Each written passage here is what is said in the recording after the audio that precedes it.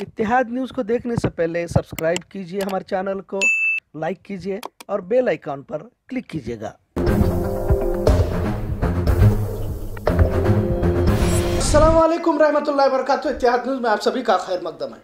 अर्नब गोस्वामी की गिरफ्तारी, क्या मजलूम खातून को इंसाफ मिलेगा? किसी को भी तू तड़ाक से बात करने वाला और भाजपा मोदी हुकूमत का कट्टर हिमायती कहने वाले रिपब्लिक टीवी के मुद्रे आला अर्नब गोस्वामी को आज गिरफ़्तार किया गया। इस गिरफ्तारी को लेकर पूरे मुल्क और खासकर भाजपा हिमातियों को ज़बरदस्त सदमा पहुँचा है और फिर चीखना चिल्लाना शुरू हुआ इसे।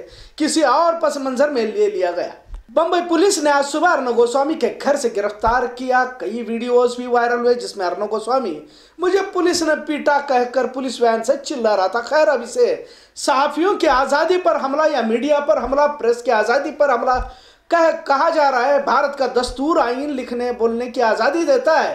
पत्रकारिता, सहाफत, जमहूरियत का सुतून है और इसने और इसके भी अपने कुछ दायरे हैं लिहाजा महाराष्ट्र के ऐवान में, जिस तरह वज़ीर आला को न्यूज़ चैनल पर कौन है उद्धव ठाकरे कहाँ है, तू की जबान इस्तेमाल की गई थी, इस पर कार्रवाई की मांग तो की गई थी। लिहाजा सामना अखबार के एडिटर और वज़ीर रियासत संजय राउत ने इस कार्रवाई से किसी तरह का ताल्लुक न होने की बात को वाज किया है। वैसे भी देखा जाए तो वज़ीर आज़म नरेंद्र मोदी का बेहद करीबी के तौर पर अर्नब गोस्वामी को बताया जाता है और यह भी कहा जाता है कि अर्नब गोस्वामी पत्रकारिता यानी सहाफत कम करता है और संघी विचारधारा और मोदी की शान में कसीदे ज़्यादा पड़ता रहता है। ऐसी कई तस्वीरें, वीडियोस वायरल हुई है, जिसमें मोदी और अर्नब गोस्वामी का याराना ज़ाहिर होता है। अर्नब गोस्वामी की गिरफ्तारी पर एक बार फिर गोदी मीडिया सदमे में जा चुके अगर इसे किसी भी तरह की इंतकामी कार्रवाई की नज़र से ना देखे तो हकीकत मालूम होगी कि जिस तरह मीडिया पर हमले की जो कहानी बनाई जा रही है, दरअसल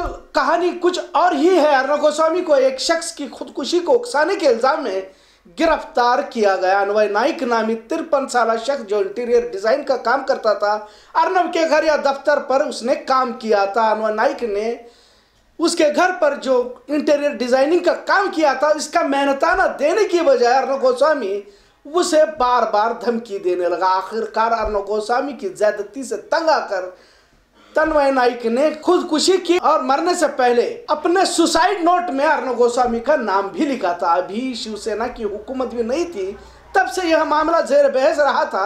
अर्नब गोस्वामी को लेकर अर्नब की बेवा ने सोशल मीडिया पर अपना दर्द ज़ाहिर करते हुए कहा कि अर्नब गोस्वामी सुशांत सिंह सिंह को लेकर तो काफ़ी चीखता चिल्लाता रहता है, पर मेरे शोर और सास की मौत के लिए यह खुद अर्नब गोस्वामी जिम्मेदार है। लिहाजा इसे क्यों गिरफ़्तार नहीं किया जाता?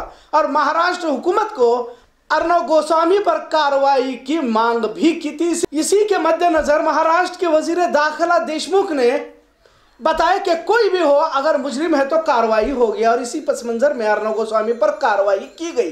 क्या वो मजलूम खातून जो अपने बच्चों को लेकर इंसाफ की भीख मांग रही है, अगर आज इंसाफ मिल रहा है तो उस पर सवाल उठाए क्यों जा रहे हैं? सिर्फ़ इसलिए कि मरकजी हुकूमत का चापलूस है, हमेशा मोदी मोदी करता है, हमेशा हिंदू मुस्लिम का जहर माशरे में घोलता है, ट्विटर पर जस्टिस फॉर तनवय के नाम से भी हैशटैग चलाया गया था, और आज जितने भी गोदी भक्त अर्नब की हिमायत में चीख रहे हैं, तब कहा थे जब मोदी विरोध का इल्ज़ाम लगाकर चैनलों से कई ईमानदार सहाफियों को निकाला गया। विनोद दुआ जैसे सहाफियों पर कानूनी कार्रवाई के तहत गिरफ्तारी का हुक्म तक नाफिज किया गया था तब ये लोग कहा थे? अर्नब गोस्वामी की गिरफ्तारी पर अमित शाह से लेकर हर भाजपाई तिर मिला उठा। ऐसा लगता है कि इनकी दुखती रग किसी ने दबा दी हो। तमाम मरकजी वज़ीर सख्त अल्फाजों में मजम्मत कर रहे हैं। महाराष्ट्र में इमरजेंसी लगाने तक की बात कही जा रही है। आजकल सबसे ज़्यादा तकलीफ़ तो वो बेचारी कंगना रानावत को हो रही है और ये तकलीफ़ किसी तरह भाजपा का टिकट हासिल करने तक